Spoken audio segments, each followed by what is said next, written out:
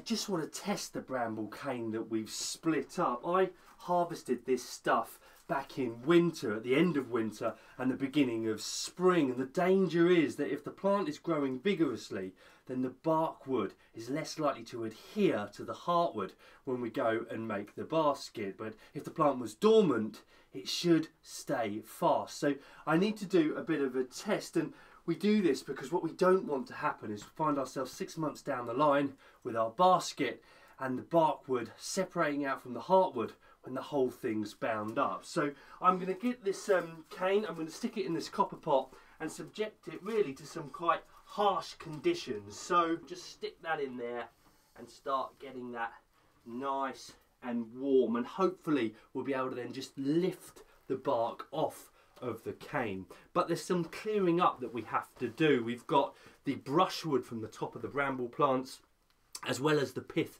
that we've scraped out. And these are all useful materials and they certainly would have been used in the past for a range of different functions.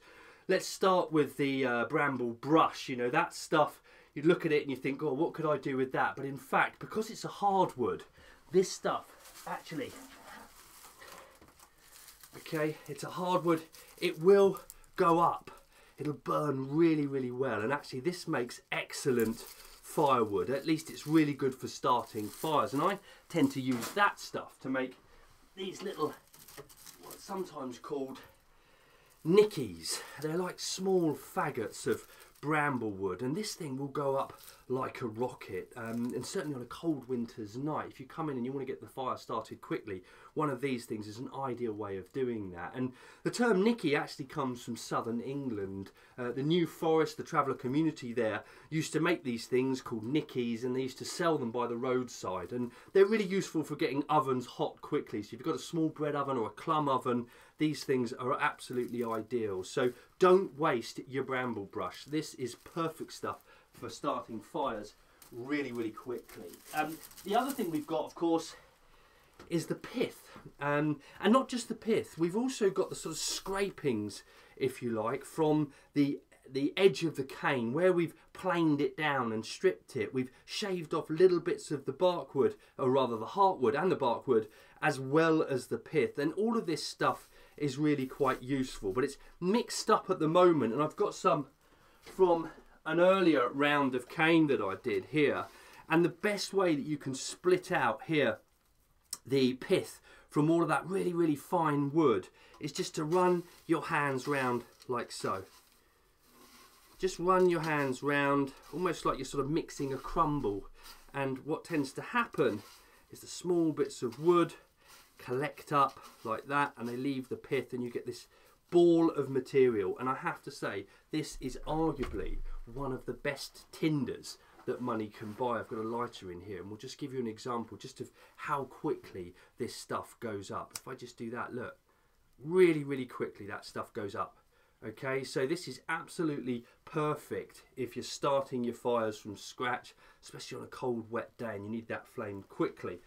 But the pith here, well, this is interesting, okay, because this stuff doesn't burn as well. It really doesn't. Um, it burns slowly, and of course it's very spongy, and that means it's very good for soaking up other burnable materials. So what you can do is you can make up a mix. I've got a little um, stove here.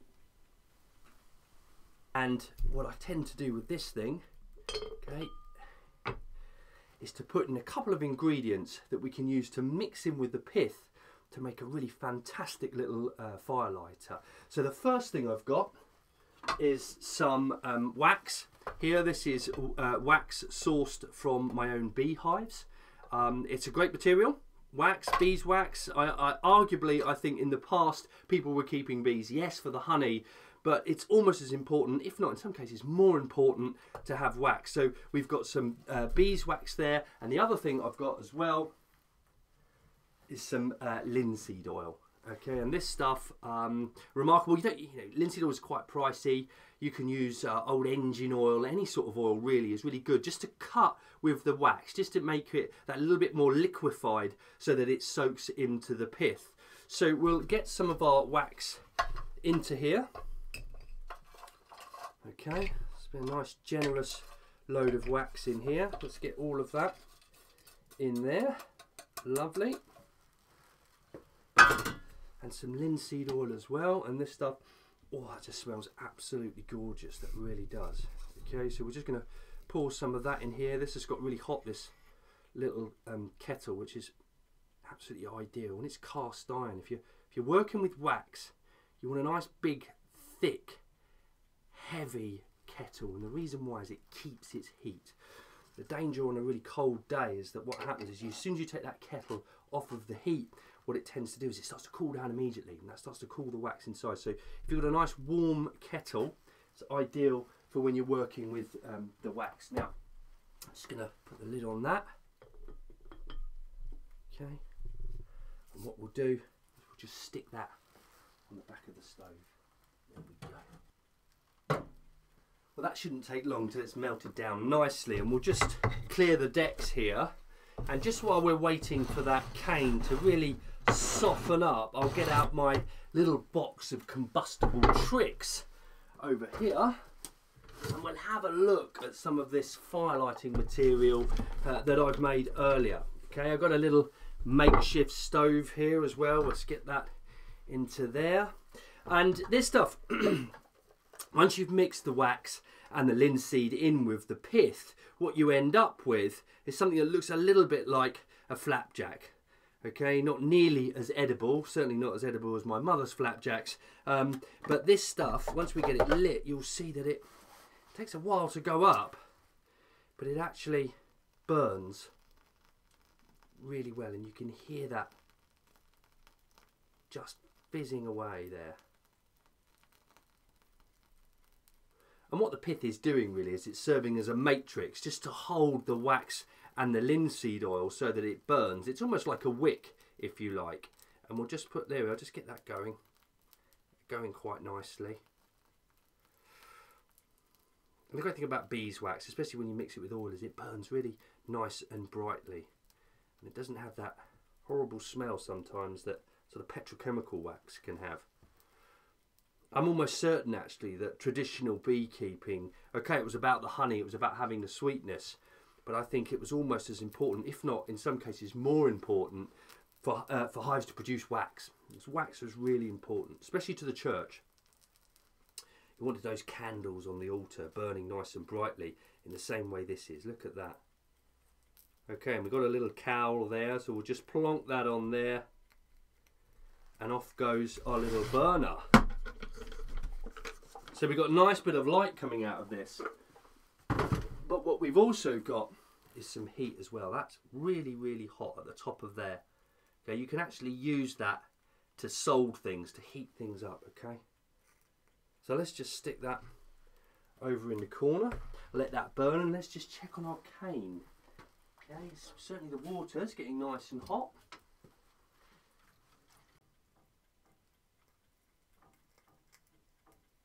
Okay, well that certainly had long enough to soften up. Let's just see if we can strip some of this bark off. And this is a useful process because every now and again you get a, a cane where the bark just won't lift off. And that, that can be a good thing because that can mean you're not going to spend hours trying to strop this stuff off and you can just make the basket with the bark still on the cane. And I quite like that because what it gives your basket is this nice authentic sort of rustic feel. And if you look at this cane here what you'll see is through the soaking processes you've got this wonderful sort of almost like a leopard skin effect on the cane. And baskets made with this I think can have a merit However, if this bark comes off easily, what we'll probably end up doing is taking it all off because the risk is if the bark is already separating from the heartwood, when the basket gets wet or damp or starts to get used, what happens is this starts separating out when it's in the basket and then the whole basket can start to come apart. so let's just see how we get on with this. It's a pretty coarse bit of cane we've got here. I'm just going to put a um, chopping board on there and it's a very very simple technique really. You'll know when the bark wants to come away okay? And I can already see with this bit here that's already come away there. And all we really want to do is just keep our fingers nice and close to the work here and use that thumb. Here we are. Look we've got a little bit there. Okay nice and close to the work. Okay and you might want to use a pair of gloves with this because if you're anything like me, you spend far too much time at a computer, got lovely soft hands, and actually after about sort of 50 bits of cane, it can really take its toll on your hands. So you might want a pair of gloves, but you can already see that this is coming away really quite nicely. I'm not having to do a lot of the work. Again, we've allowed soaking and the water to do the work. So here we go, look, there we are, lovely. Just running that through there. We don't always have the choice when you go to the hedgerow to pick out the perfect material. And I, you know that is the beauty about this material. It's not like going down to builders merchants and being able to order up sort of 200 meters worth of beautifully factory produced material. You really have to work with what the hedgerow gives you. And I think the net result of this whole process here is that we are not going to get that bark off too easily. Okay that's the underlying cane. That's quite a good bit of material. It's a bit coarse. To be honest I've worked with better cane but I'm taking some of the rough and ready stuff so let's just bind that one up again. And we'll give it one last go. Let's have another go. Stick that on there. Okay, let's have a look at this one. Okay so let's see how this one comes away. So just get the end here and sometimes if you need to just oh look there we are. That's just come away quite nicely that one. Oh I can see look there we are. Just, just come away completely there so that's a good sign for this bit of cane, but still a little bit, I think the jury's out really on this one. I, I have to say, I'm still feeling like this, that lovely leopard skin effect that you've got on there. I almost look at that and I'm thinking actually I quite I would quite like that on my basket that sort of mottled effect and given that this stuff is just not going to come away easily it makes me think that actually when this stuff was cut, the plant was still relatively dormant, still relatively early in the year. It's not quite got into growing. So, you know, as it's growing, it sort of starts, separates out its fibres to reach up for the light. And it's at that point, actually, the bark comes away quite easily from the heartwood. And I think I've cut this just early enough in the year so that the plant isn't growing. And as a consequence, I am not going to get this bark off. So I think that's made the decision for me. So what I would probably go for, I think in the case of this basket, and you can make your own call on this, is I'll probably go for a basket that actually has the bark still on the heartwood, just to give it that lovely authentic look.